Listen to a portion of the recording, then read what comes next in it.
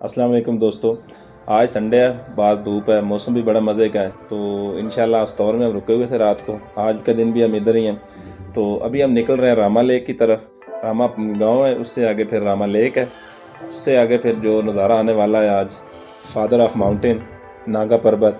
تو آئیے چلتے ہیں راما کی طرف۔ تو ہم نے سفر دوستو، گھوڑا پول سے استور کا چوک جو ہے، ایک گھوڑا پول گھوڑا پول سے ہم نے ایک رستہ لے لیا، راما لیک کا۔ ہم نے یہاں کے لوکل سے پوچھا تھا۔ تو ہم لوگ راما کی طرف چل پڑے ہیں۔ تو انشاءاللہ اللہ خیر کرے گا۔ آف روڈ ہے یہ۔ تو روڈ کنڈیشن اتنی اچھی نہیں ہے۔ باقی انشاءاللہ اللہ ہمارے ساتھ ہے اور جیسے جیسے ہم راما لیک کی طرف ابھی تو ہم نے سٹارٹ کیا ہے۔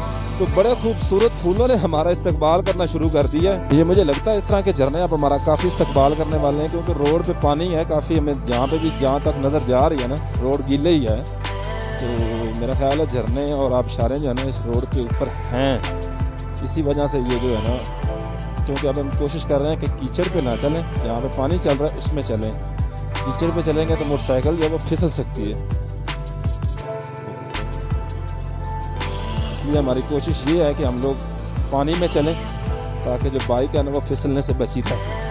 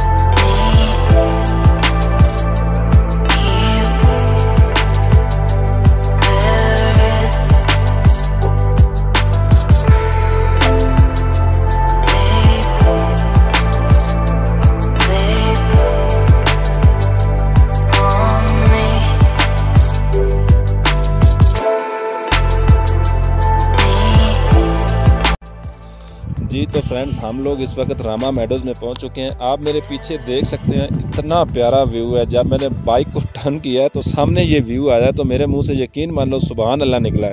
میں تو کہتا ہوں کہ راما میڈوز اب مجھ سے آگے نہیں جایا جا رہا۔ تو میں نے سوچا ہے کہ یہاں پہ تھوڑا ٹائم گزارتے ہیں۔ وہ سامنے میں نے بائک ہینگ کی ہے۔ تو میرا دل کر رہا تھا کہ میں آپ لوگوں کو بھی یہ ویو دکھاؤں اور خود بھی یہاں پہ کھڑے ہو کے آپ کو اس بارے میں تھوڑی سی انفارمیشن دوں۔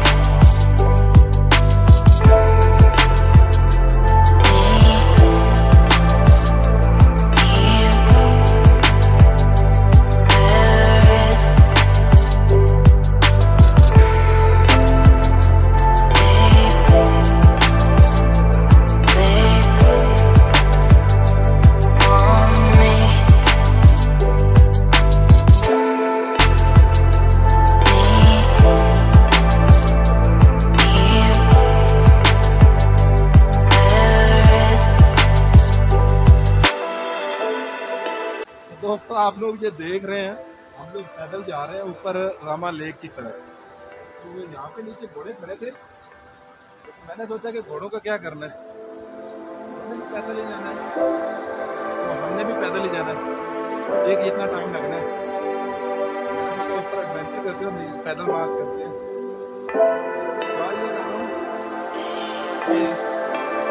بارش نکلی جاتی ہے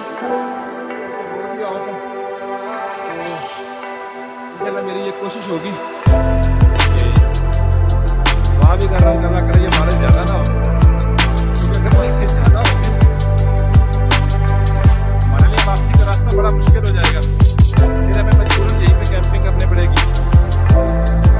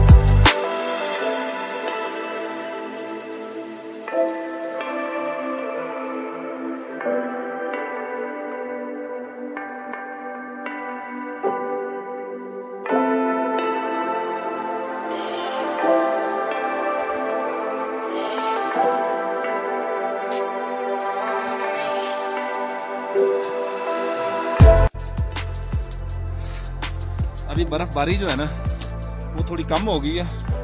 لیکن یہ آپ دیکھ رہے ہیں نیچے کتنا کیچڑ ہو گیا۔ تو یہ سامنے بھی کتنے گلیشر اور کتنی پیاری چھوٹی سی یہ لیک بنی ہوئی ہے۔ گلیشیئرز ہیں، جب یہ پگھلیں گے تو یہ ختم ہو جائے گی۔ آ گئی ہے۔ ہم لوگ پہنچ گئے اوپر ہے۔ ہاں۔ فرینڈز ہمیں بابا جی بتا رہے ہیں کہ ہم لوگ راما لیک پہ پہنچ گئے ہیں۔ یہ سامنے کیمپ نظر آ رہا ہے۔ تو بابا جی سامنے بیٹھے ہوئے تھے۔ تو میں نے سوچا کہ ان سے پوچھ لوں۔ تھوڑا الٹا چلتے ہیں، کیونکہ سیدھا چل چل کے نا یہاں پہ درد ہو رہی ہے۔